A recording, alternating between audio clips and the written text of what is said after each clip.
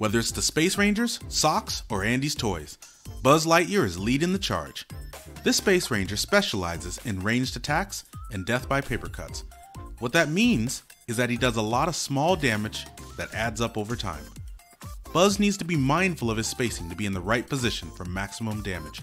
Alternatively, he can excel at spreading out his damage in a way not seen since Maleficent and Demona.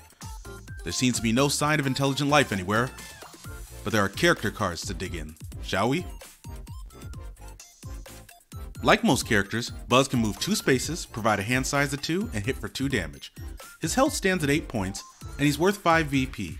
Both of these are about average and don't stand out for the positive or the negative. Buzz has trained his skills to be laser focused. With this, Buzz can do 1 damage to a rival that he's already damaged this turn, as long as that rival is 2 spaces away. This may sound strangely specific, but if you work out the placement, then you can consistently get between 2 to 4 damage a turn off on your rivals. For most characters, this would be hard to achieve. Unshakable Determination is a better version of Buzz's skill. Near the end of Buzz's turn, it allows him to do an additional damage to a rival that has already been damaged. This basically means that Buzz can do 4 to 5 consistent damage every turn, which is above the average curve. This is strong enough that I would encourage you to get this upgrade as soon as possible, since the damage adds up. Fascinating, so your inner voice advises you. Well, that in your deck, so we better get a look on what makes Buzz tick. So let's go through Buzz's cards and break it down a little further. I'll be going from most common to least common, as some cards appear in the deck multiple times. The first three cards each appear twice. Buzz can blast foes with his Galactic Punch. It deals 3 damage to an adjacent rival. Then you can reveal the top card of your deck. If it's an attack card, move that rival one space. This is a great setup for Buzz's skill to get that quick 4 damage on a single target. He's set his laser from stun to kill. Laser Blast does 1 indirect damage in a straight line from Buzz to the end of the board. Then, you gain an additional movement phase. This is an opportunity for Buzz to line up multiple enemies if the plan is to split your damage to multiple opponents, or if someone is stealthy or taunted. However, in most normal situations, it won't be the best use of his offense. You people still use Fossil fuels or have you discovered Crystallic Fusion? Activated Crystallic Fusion allows Buzz to move up to 3 spaces and pass rivals while moving. If Buzz passes through at least 2 characters this way, draw a card. Using this to get a card typically takes some setup, because often it can require being in the middle of the board and having multiple characters adjacent to each other. But can't argue with its ability to pass through rivals and increase his mobility. No space is safe from Buzz's Rapid Fire. It deals 1 damage to an adjacent rival, then deals 1 to a rival 2 spaces away, and finally, you guessed it, deals 1 to a rival 3 spaces away.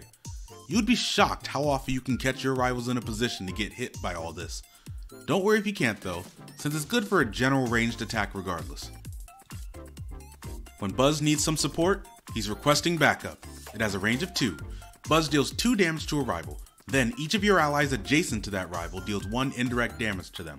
This is the situational card that can still deal 2 to 4 damage at a distance, so it shouldn't be ignored when combined with the skill and his upgrade. Spinning Wind Kick, not to be confused with Chun Li's Spinning Bird Kick, deals 1 indirect damage to each adjacent rival and moves them one space. Like Galactic Punch, this move is excellent at setting up his skill. It's also a good way to keep people off his back. If you can't tell by this point, positioning is the name of Buzz's game. Well, that and Buzz Lightyear a Star Command. But that's from a long time ago. To infinity and beyond! Moves Buzz up to three spaces. Then moves an ally next to Buzz. Want to get a free early VP? Use this card near the beginning of the game and move an ally onto the VP space. Or get an ally out of trouble if they're surrounded by the enemy. Just make sure they aren't immobilized or else you get nothing out of it. Well, is Buzz's firepower more like a Space Ranger or a toy? Even though this Buzz is based on the Toy Story version, he certainly got the firepower to make some noise. Buzz's real benefit comes from his skill and his upgrade. Each are follow up hits for additional damage that build up over time. His turns tend to involve either hitting people from a distance for small damage, or hitting people close up and attempting to create enough space to use his additional damage.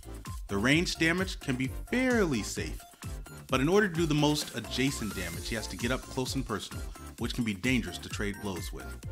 Buzz has an odd relationship with status effects. Casting Shrunken on this toy doesn't have the same response because his laser focus and determination can still result in 3 damage turns. Casting Strong on him can result in extremely damaging turns, because each of those hits are increased by 1. For example, a standard hit with his skill and upgrade results in 7 damage if he's strong.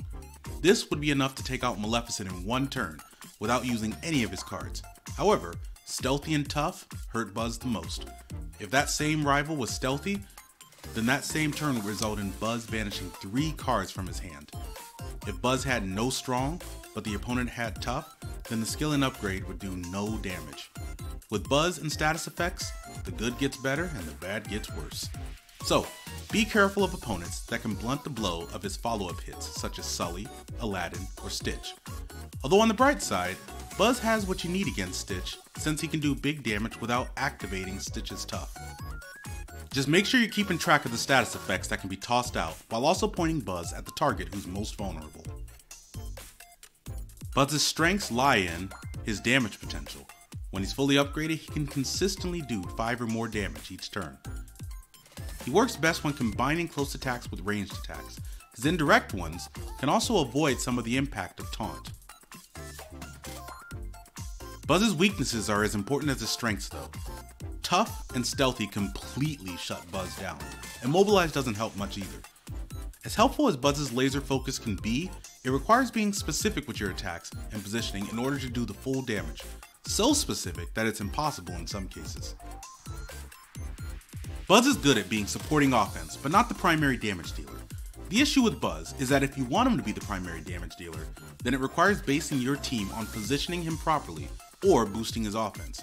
It can be done, but it's not easy. Still, at 5 VP, he's far from a liability and can give your team the boost it needs to pull out a victory. Just be extremely careful for status effects. It's easy to counterpick Buzz with a tough or stealthy character, so it may be wise to pick Buzz last. So, which allies will stand with Buzz against the forces of evil? Jack, Buzz, and Gaston. Gaston's the primary damage dealer, and Buzz is his right hand toy. However, the synergy starts when Jack steps in. Jack can counter several of the negative status effects that hinder Buzz. He also has the ability to maintain Gaston strong, and to provide strong to Buzz, which would ramp up his damage to obscene levels. The issue here is that Jack only has one card that provides that chance. Afraid has the impact of either reducing damage done to your team or spacing them out enough for Buzz and Gaston to dictate the offensive pace. Buzz, Elsa, and Demona. This team is capable of fighting from almost any range. Each member of the team also can indirectly hit multiple opponents at once. This team shares the offensive burden and can adapt to deal with multiple gimmicks. However, this team is also frail enough that it can lose the damage battle to big hits. I'll tell you this win or lose, I doubt battles are going to last that long with this team's involved. So that's our breakdown of Buzz. Thanks for joining us. Make sure to stick around for the next one. Until then, you know what, Sox? I'm not giving up on my mission either. See you next time.